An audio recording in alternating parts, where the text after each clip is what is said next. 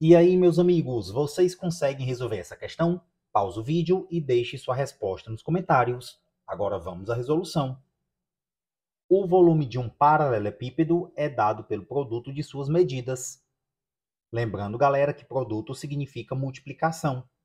Se aumentarmos 10% cada medida, seu volume será aumentado em cerca de. Desenhei aqui dois paralelepípedos e a questão não informou quanto era cada medida dessa primeira figura.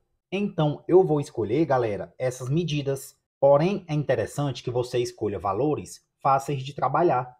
Eu vou dizer que essa medida aqui é 10, essa vai ser 5 e essa vai ser 2.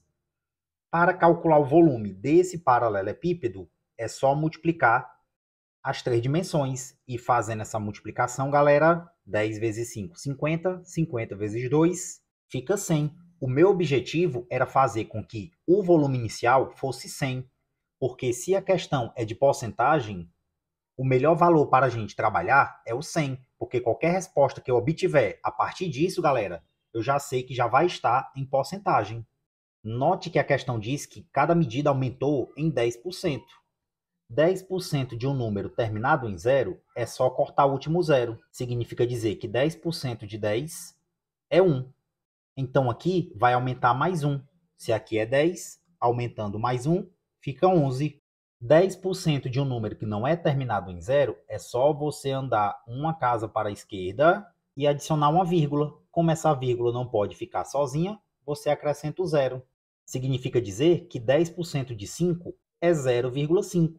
Se aqui é 5 e eu tenho que aumentar 0,5, então essa medida vai ficar 5,5. Utilizando aqui a mesma lógica, 10% de 2 é 0,2. Aqui, então, vai aumentar 0,2. 2 mais 0,2, eu fico com 2,2.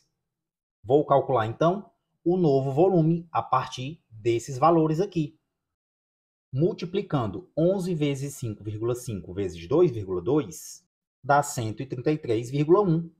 Olha só como vai ficar fácil de 100 para 133,1, aumentou 33,1.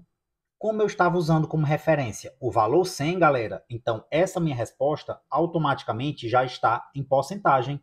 Aumentou 33,1%, aumentou cerca de 33%. A nossa resposta é o item D, de desoxirribose. Você poderia ter usado qualquer outro valor para começar essa questão. Porém, se o seu volume inicial não desse 100, quando você encontrasse esse segundo volume, você ainda teria um trabalho de transformar o aumento que você encontrou em porcentagem. Por isso que eu sempre, nesse tipo de questão, gosto de trabalhar com 100, porque a próxima resposta que eu obtiver, eu simplesmente vejo o quanto aumentou e já sei que automaticamente essa resposta já estará em porcentagem. Se gostou do vídeo, me ajuda a compartilhar, inscreva-se no canal se não for inscrito e deixe o seu like para me motivar a continuar sempre postando conteúdos para vocês. Forte abraço e até o próximo vídeo.